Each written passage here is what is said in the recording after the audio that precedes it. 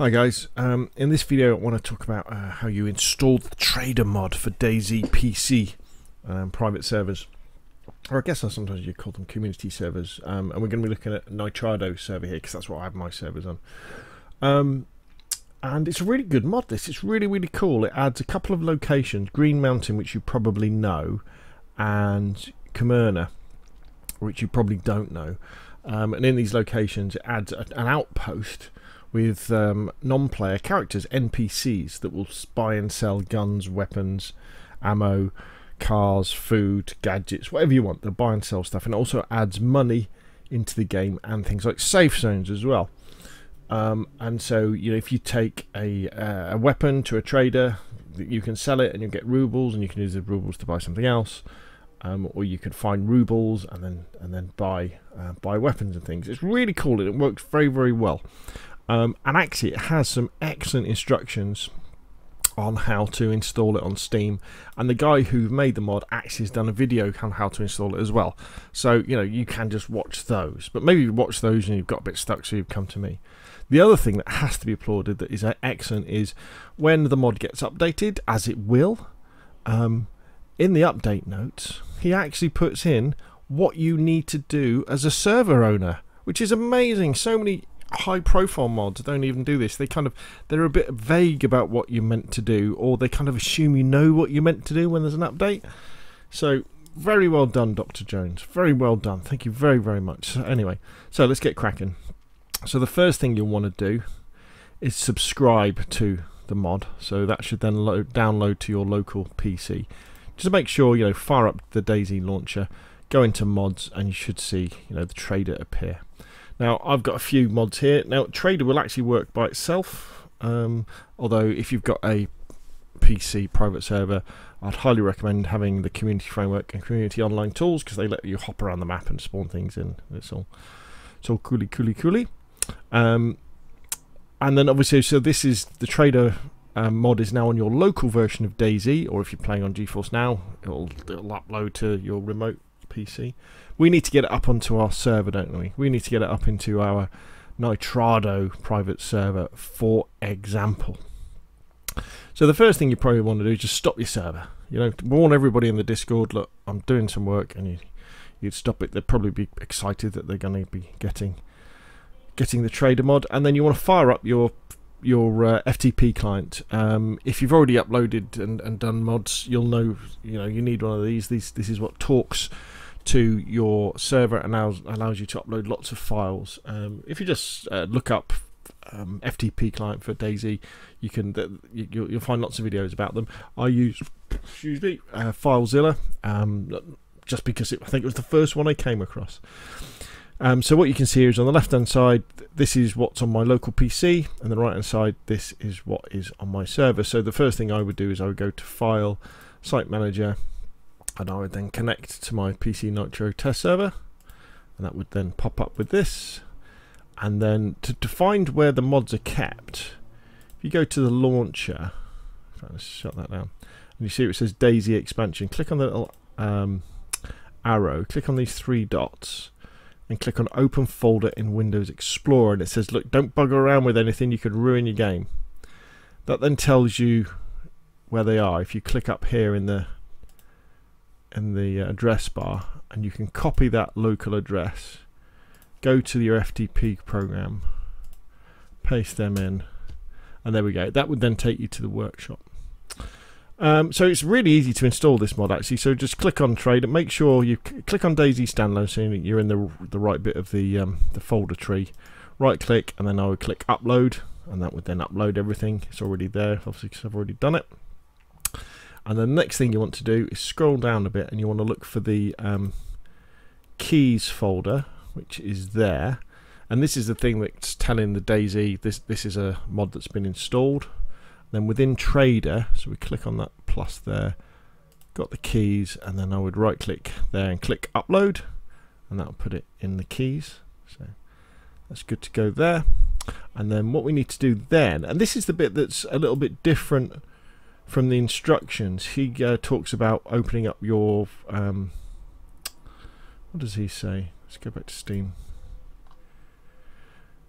he says open up uh, server profile folder. Now this these often have are called different things. Um,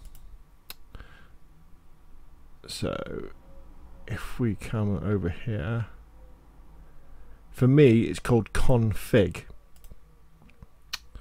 And so I open the config up, and this will probably be the same for you on Nitrado. So it says config, so click on that. And then within the trade on the left hand side, within the trader thing, if you just click on it'll say server profile folder, click on that, the plus. So it says trader there. So then you just right click that, upload that, and that will then copy that over to here. And that basically is almost it. All we need to do now is then go to our Nitrado dashboard, go to the server settings, scroll down to the additional mods, and then just add at trader at the end or at the beginning. obviously, I've got community framework and community online tools already on there, so I just at trader, save that, and then hit the restart, and basically you're good to go. Now, one thing you can do right here now is if you go into the file browser and you go into uh, DayZ standalone, go into the config, and then go into trader, and then go to trader admins you can put your Steam ID into here. Now, I understand that this allows you to copy keys, I think, or get into cars that have got keys. One of the things that this game does, I mean, I haven't, I haven't played around it with this mod yet, sorry, is that when you buy a car, you get a key with it, and only you can drive that car then. Other people can't just steal it off you because they need the key.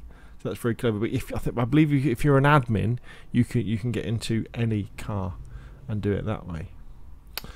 And um, and that's it, peeps. That is how you install um, Trader. So you just start the um, start your server back up, um, head on over to Green Mountain or uh, and just check it out. Um, and then uh, the world your oyster. Then you know, I mean, I think it's pretty good. Pretty good as. Oh, sorry. Stop. Stop. Stop. Rob. Of course, we need to add the money in, don't we? So as it is, uh, you'll get money when you sell stuff. But if you want money to spawn in around the map, what you need to do, and he tells you how to do it down the bottom.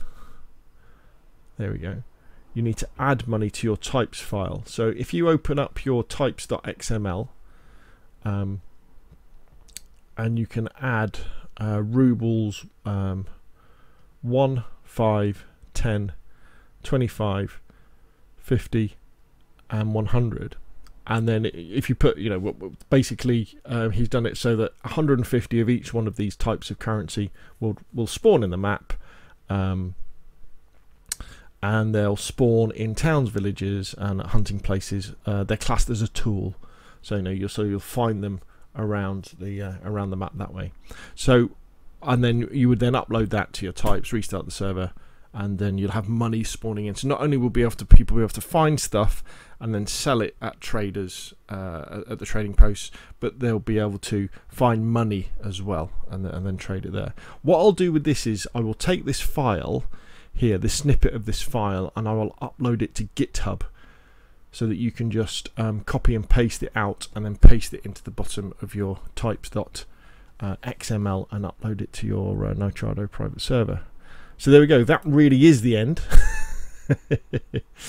and uh, that's you know that gives you a nice basic trader two trading posts you've got the money spawning in and i think it's great i think it adds something very interesting to uh, to a DayZ especially a PVE um, server, or well, actually PVE PvP as well, because it means that people don't have to run around um, looking for guns, isn't it? You know, they could if they find something else, they can go and sell that stuff.